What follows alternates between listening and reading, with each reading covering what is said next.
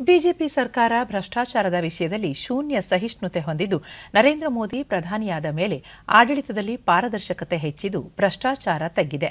ದೇಶದ ಅಭಿವೃದ್ಧಿಗೆ ಹೆಚ್ಚಿನ ಆದ್ಯತೆ ನೀಡಲಾಗಿದೆ ಎಂದು ಕೇಂದ್ರ ಇಂಧನ ಹಾಗೂ ಬೃಹತ್ ಕೈಗಾರಿಕಾ ರಾಜ್ಯ ಸಚಿವ ಕಿಶನ್ ಪಾಲ್ ಗುರ್ಜರ್ ತಿಳಿಸಿದ್ದಾರೆ. ಹಾಸನದಲ್ಲಿಂದು ಅವರು ಜಿಲ್ಲೆಯಲ್ಲಿ ಮೂರು ದಿನಗಳ ಕಾಲದ ತಮ್ಮ ಪ್ರವಾಸ ಫಲಪ್ರದವಾಗಿದೆ ಪಕ್ಷ ಸಂಘಟನೆ ಕುರಿತು ಚರ್ಚೆ ನಡೆಸಲಾಗಿದೆ ಅಭಿವೃದ್ಧಿ ಕಾರ್ಯಗಳ ಪ್ರಗತಿ ಪರಿಶೀಲನೆ ನಡೆಸಲಾಗಿದೆ ಎಂದರು ಜಿಲ್ಲೆಯಲ್ಲಿರುವ ನಿರುದ್ಯೋಗ ಸಮಸ್ಯೆ ನಿವಾರಣೆಗೆ ಕೇಂದ್ರ ಸರ್ಕಾರದೊಂದಿಗೆ ಮಾತುಕತೆ ನಡೆಸಿ ಅಗತ್ಯ ಕ್ರಮ ಕೈಗೊಳ್ಳುವುದಾಗಿ ಸಚಿವರು ಭರವಸೆ ನೀಡಿದರು कि 2024 में भी मोदी जी फिर देश के प्रधानमंत्री बनने वाले हैं ये लोगों ने अभी से तय कर रखा है। मेरी बात याद रखना, फिर भी आऊँगा मैं। सामने कोई है नहीं। पूरा वैक्यूम है। इसलिए कर्नाटक के जो मतदाता हैं, उन्होंने भी बहुत बुद्धिजीवी हैं, अच्छी समझ रखने वाले हैं। उनका हित किसमें ये अच्छी तरह जानते हैं?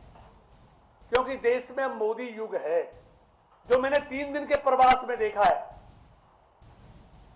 सबको मालूम है 2024 में मोदी फिर आने वाले हैं।